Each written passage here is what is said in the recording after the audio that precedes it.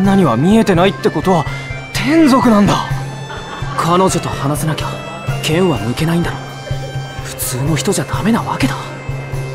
すっげえ。伝承は本当だったんだ。みくりよ声かけてみてよ。僕が？俺だとみんなに変な目で見られるだろ。しかしだな。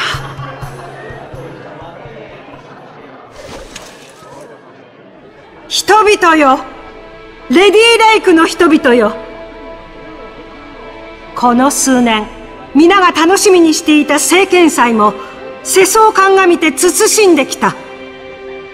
だが今年はアリーシャ殿下のご理解と全面的な協力により開催する運びとなった。最近は異常気象や疫病不作や隣国との政情不安など憂い事も多い。だがこんな時代だからこそ伝統ある祭事をおろそかにしてはならないと私は考える。さあ湖の乙女よ。その力を表したまえ。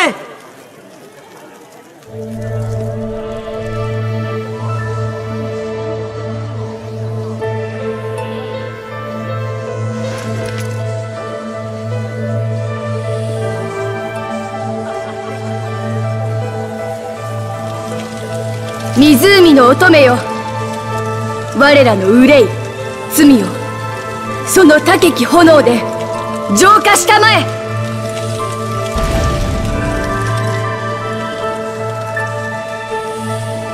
レディーレイクの人々よ。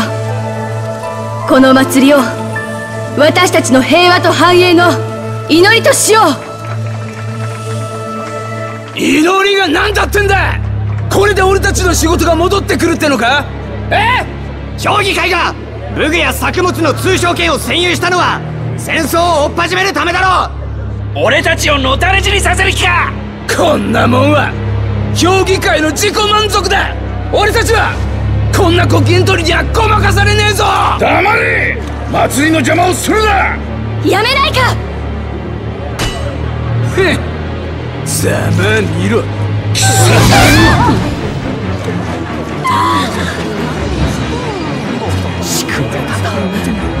暴動はあの衛兵。大臣の仕業に間違いない。勢力争いに守るべき民を巻き込むとそこまで腐ったか。アリーシャスレイキ警長いけません！敵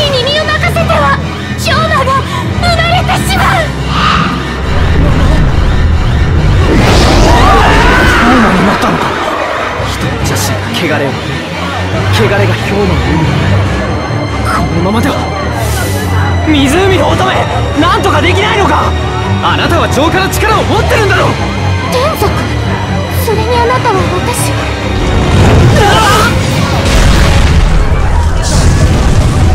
てことだミクリオ火を消してくれ！あの黒い炎は氷馬と言っていい！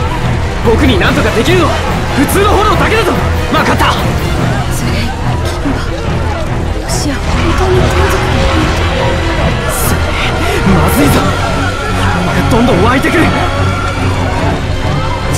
力は私が振るうのでなくこの剣を引き抜き私の剣となったものが操る力なのですそれなら。スイお待ちください。私の剣となるとい。うことは私を宿す器となり宿命を背負うということ。浄化の力を操り。超人的な能力を得る代償に人に疎まれ。心を打ちのめされることもあるでしょう。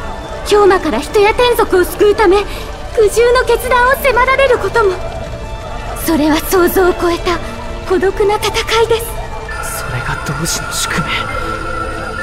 それを今受け入れろっていうのか。そうですわ。だから。君の名前を聞いてもいいかな。あはい。ライラです。ライラ。俺世界中の遺跡を探検したいんだ古代の歴史には人と天族が幸せに暮らす知識が眠ってるって信じてるから。俺の夢は伝説の時代みたいに人と天族が幸せに暮らす方法を見つけること。氷魔を浄化することで人と天族を救えるならそれは。俺の追いかけてる夢と繋がってるんじゃないかって思う。君は。スレイさんだからライダ俺は同志になる。この身を君の器として捧げ宿命を背負う。私はずっと待っていました。汚れを生まない純粋で清らかな心を持ち私の声が届く者が現れるのは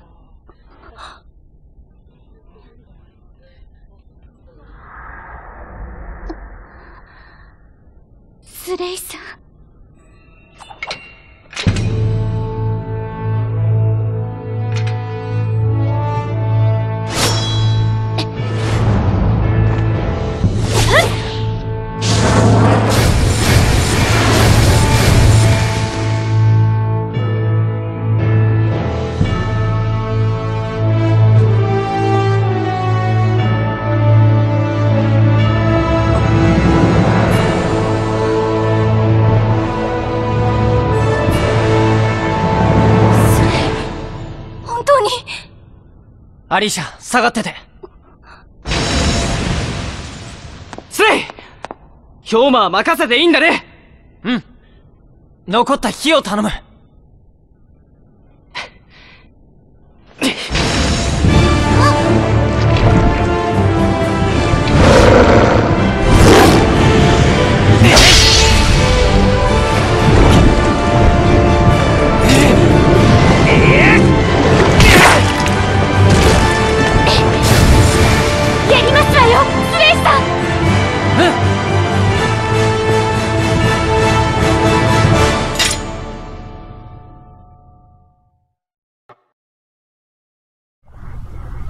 何そんな。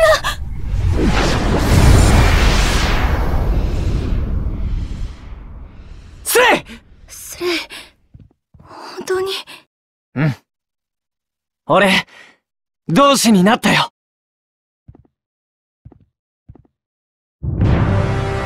静まれ！静まれ！バルトロ大臣。アリーシャ殿下暴動が起きたと報告がありました。がええ。ですがもう収束しました。同志の出現によって。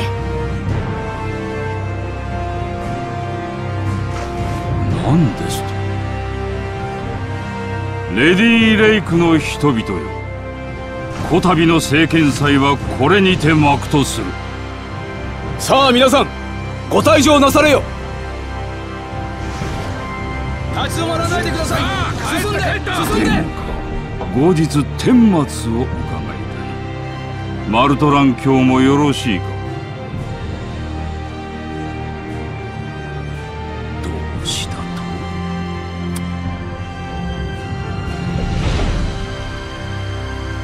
それではスレイさん私はあなたの中に戻りますね。うん。俺が器だもんな不思議な光景だよ。スレイ？どうした？私が入ったせいですね。3日三晩は高熱にうなされると思いますわ。どうして？体に入った異質な力を排除しようとする人の機能なのでしょう。天族に腰入れした人は大抵寝込んでしまいます。人が器になるとそうなるのか。やば。もうダメ。スレイ大丈夫なのか？大丈夫くない。ちょっと、3日ぐらい、寝込んで。俺の姫様のスレイこっちのが事件だな